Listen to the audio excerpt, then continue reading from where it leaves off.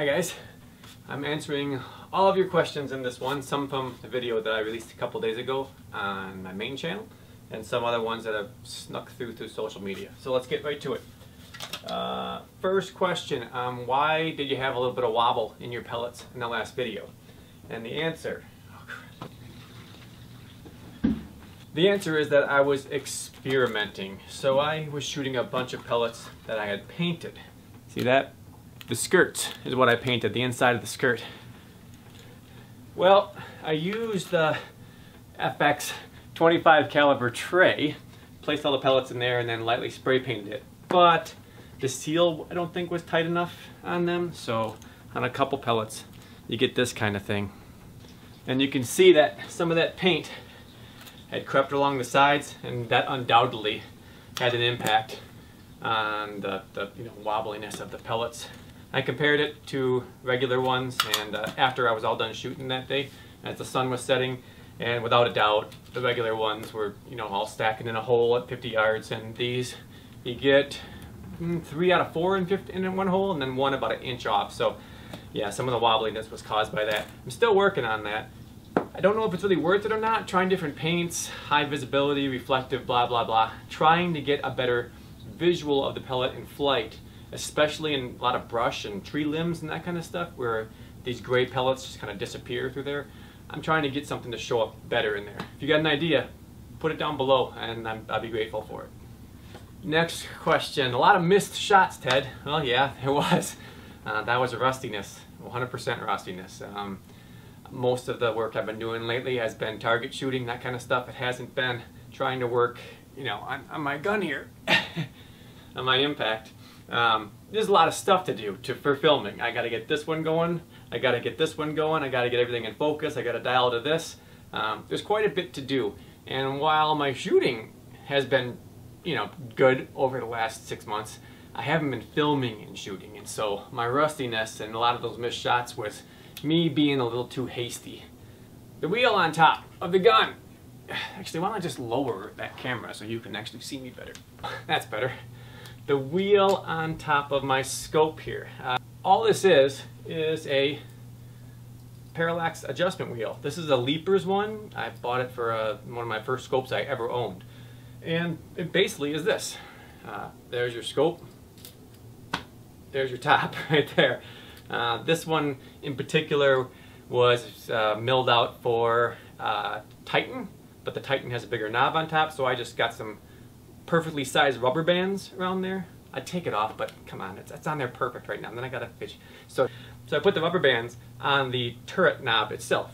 Tight rubber band, tight rubber band. It's all just kind of sandwiched in there, so just rubberized friction allows that. Why pellets? Why aren't you shooting slugs? Well, yeah, I got uh, 25 knockouts and 25 hybrids. Both of them do pretty well out of this gun. The answer is Right there. How many of the freaking Can you see that? I'm gonna turn that camera. I have thousands and thousands and thousands of 25 caliber pellets that need to be shot. So I got thousands of dollars worth. Remember that order for all those 25 caliber. That was 2015 and I found a, what I thought was a magic batch. And so I just bought up uh, $2,000 worth of ammunition. that order right there probably bumped JSB stock by a couple points. stop talking politics? That's not really a question.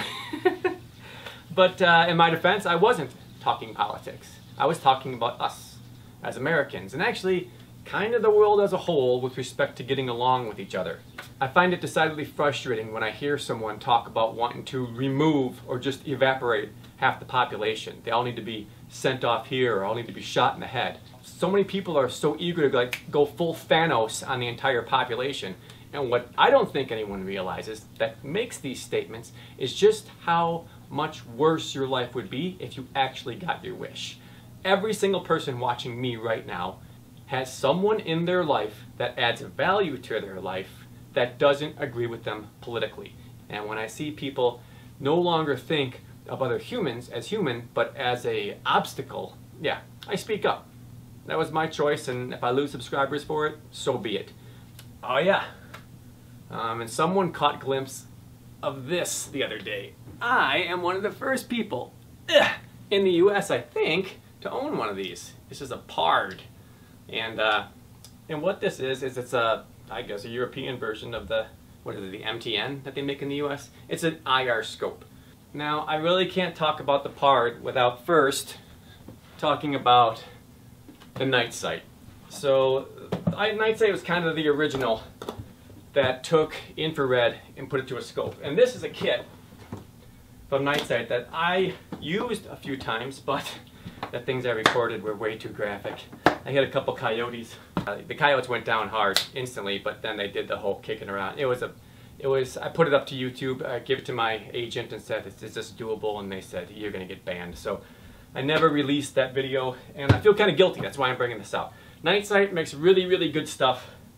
Um, it just never fit what I was doing. We can't hunt, like hunt hunt at night, like the UK can. Uh, you shoot a rabbit at night, and uh, unless it's in a for a very, very good reason that you've approved with your local conservation warden, it's going to be a no-no.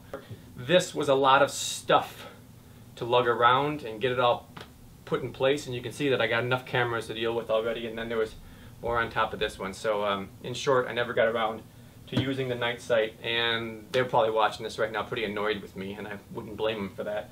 Uh, if you guys want it back, I will send it back um, on, on my cost. My point is tip of the hat to these guys because the technology that went into these, and still goes into these, NiteSite still makes their stuff.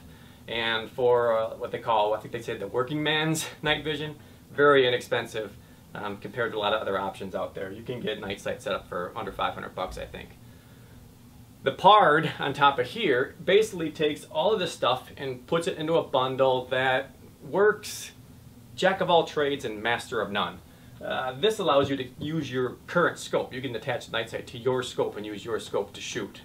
Uh, the PARD, just like the ATNs, there's about 5 or 10 reticles to choose from. I don't really like any of them in here. I usually just use a, a straight duplex cross. It will record, it's only 30 frames per second.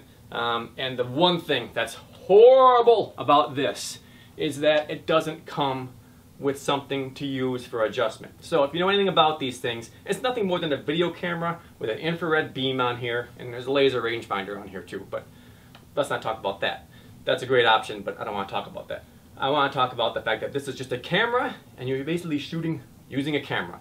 And imagine that you just had like your, your own uh, camcorder, you plopped it down here and you took your knife and etched on the glass across there. I mean, if you could dial that camera to that crosshair, that's, that's a scope, basically. So, um, you need to have one of these. See it on there? It's an adjustable rail. And this one is a dang good one. I got it off of Amazon. Uh, what's the company on this? Looks like, uh, Looks like I don't know. There, it's a it's a Chinese-made part. I'm almost certain because I've seen it pop up under several different names. Should come in at about 130 bucks, something like that. Without this, this is dang near worthless because you have to shim it to get it close. And I used everything from staples to little slits of aluminum to anything I could to get it close. And I did get it close, but man, was it clumsy and just plain ridiculous. You can move the crosshair inside this but if your point of impact is in the lower corner of the view screen, you're using a crosshair down here. This is all wasted space then, and you're constantly just focusing on this little tiny corner where the crosshair is. That sucks.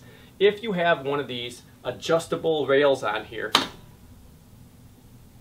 you can completely forget about moving the crosshair in here, and I have gotten the crosshairs that come, you know, centered per the default on the PARD I've got them exactly to my point of impact at 50 yards using just this.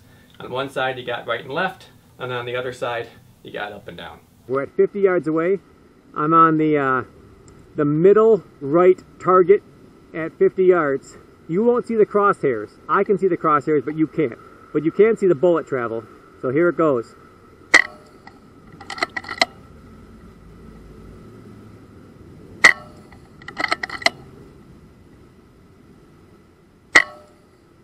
See that? Here, let me digital zoom it for you. See, there's my three shots right there. I'll use digital zoom for these other three shots.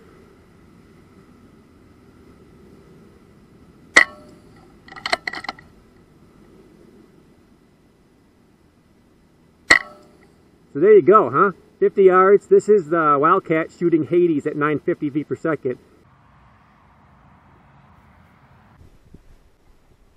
GoPro, turn on.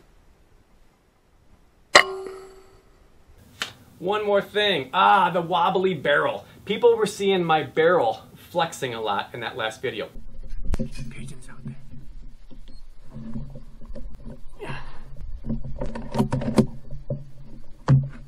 I want to show you it actually wasn't the barrel. What it was was this stick that I have on here. And see how I extend that? Extend that and then when it's pretty rigid, but as I was moving, this thing would bounce.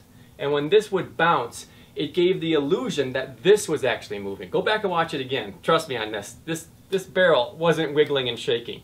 It was this thing. I make sure to address that. I I try to get this as rigid as possible, but you know, what are you gonna do? You have this big long extender arm out there. So that is what you were seeing. You were seeing that. Finally, will you be shooting slugs in the future? Yes, of course I will. I'll be shooting slugs. I'm not a pellet snob or a slug snob. I'm just a shooting guy, and uh, I have all this to get through, and I have lots of other stuff to use too. So yeah, just mixing it up is all. So I think that covers it. We're done. Goodbye.